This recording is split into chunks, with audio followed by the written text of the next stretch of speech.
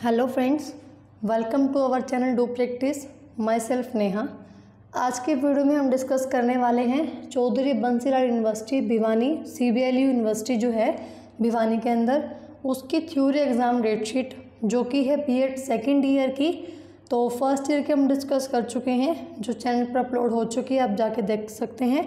तो ये second year का जो आपका एग्ज़ाम है बीएड का, चाहे वो मेन हो मतलब जो फ़र्स्ट टाइम दे रहे हैं वो, या जो रीअपियर है जिन्होंने लास्ट दिया था वो उनकी री आ गई थी, ये इम्प्रूवमेंट के लिए जिन्होंने ये फॉर्म फिल किया हुआ है तो उन तीनों की डेटशीट है ये बी एड सेकेंड ईयर की।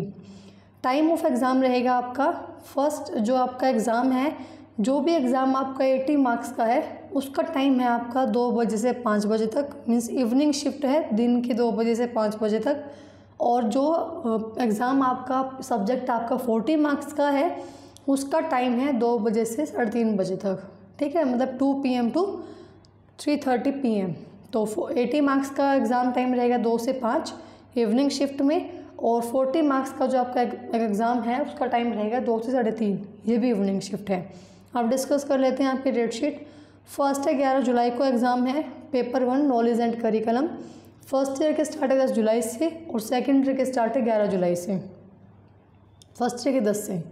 तो ग्यारह जुलाई को फ़र्स्ट एग्ज़ाम है नॉलेज एंड करिकुलम फिर तेरह जुलाई दो हज़ार चौबीस को एग्ज़ाम है असेसमेंट फॉर लर्निंग सोलह जुलाई को है क्रिएटिंग एन इंक्लूसिव स्कूल अठारह जुलाई को है लर्निंग एंड टीचिंग बीस जुलाई को है इन्वामेंटल एजुकेशन तेईस जुलाई को है school leadership and management and 25 जुलाई को है जनरल स्कूल एंड सोसाइटी और एक है गाइडेंस एंड काउंसलिंग।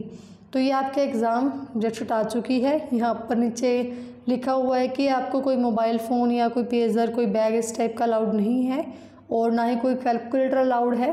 तो जो भी दिया हुआ है मतलब उनको आपको फॉलो करना है। जो भी आपके लिए गाइडलाइंस उनको फॉलो करना है अच्छे से।